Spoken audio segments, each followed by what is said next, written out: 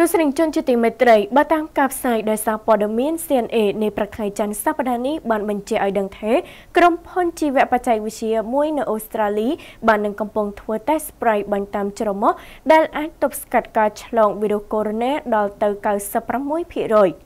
ក្រុមហ៊ុនជីវៈបច្ចេកវិទ្យាអូស្ត្រាលីអេណានៅថ្ងៃច័ន្ទសប្តាហ៍នេះបានប្រកាសថា Sprite បាញ់តាមច្រមុះដែលខ្លួនកំពុងអភិវឌ្ឍអាចជំរុញឬដាស់ប្រព័ន្ធភាពស៊ាំឲ្យប្រយុទ្ធប្រឆាំងក៏ដូចជាកាត់បន្ថយការកើនឡើងនៃវីរុសកូវីដ -19 នៅក្នុងការសិក្សាស្រាវជ្រាវមួយនៅលើសត្វនេះបើតាមការចេញផ្សាយដោយសារព័ត៌មាន CNA នៅព្រឹកថ្ងៃច័ន្ទទី28ខែកញ្ញាឆ្នាំ2020នៅក្នុងសេចក្តីថ្លែងការណ៍របស់ខ្លួនក្រុមហ៊ុនអេណាបានឲ្យដឹងទៀតថា Sprite បាញ់តាមច្រមុះដែលមានឈ្មោះថា INNA 055 អាចនឹងត្រូវប្រើប្រាស់ជាប្រភេទវ៉ាក់សាំង Sprite បាញ់ច្រមុះដើម្បីកាត់បន្ថយកម្រិតឆ្លងវីរុសកូវីដ -19 បានរហូតដល់96%ក្រុមហ៊ុននេះបានបន្ថែមទៀតថាតាមរយៈការធ្វើតេស្តនៅលើសត្វបានជោគជ័យខ្លួនមានសង្ឃឹមថា INNA 055អាចនឹងទទួលបានការអនុញ្ញាតនៅក្នុងការដឹកនាំការធ្វើតេស្តលើមនុស្សនៅក្នុងពេលឆាប់ឆាប់នេះគួរជំរាបផងដែរថាក្រុមហ៊ុន Ena បានប្រមូលថវិកាសរុប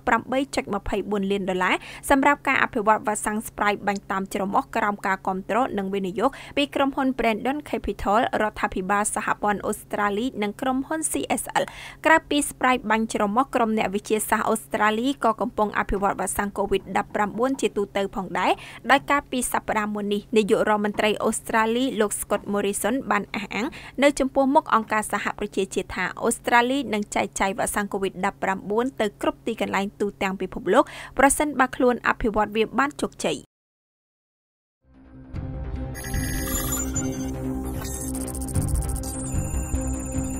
លោកអ្នកកំពុងស្វែងរកលំនៅឋានដែលមានតម្លៃទាបសមរម្យសំណង់រឹងមាំក្នុងក្រុងមែនទេដូច្នេះលោកអ្នកមានជំរឿក្នុងការទិញដើម្បីរស់នៅផងនិងអាចទទួលបានចំណេញផងនោះគឺបូរីលេងនវត្រាអាចបំពេញបំណងលោកអ្នកបានដោយទីតាំងស្ថិតនៅជិតផ្លូវវែងស្រេងចេញពីស្តុកណតព្រីទូរទស្សន៍អាស៊ីអាគ្នេយ៍ត្រឹមតែ4គីឡូម៉ែត្រប៉ុណ្ណោះហើយជាតំបន់មាសមានការអភិវឌ្ឍស្រាប់លក្ខណៈអន្តរជាតិបុរីលេងនវត្រាតម្លៃទាបបំផុតនៅក្នុងទីក្រុង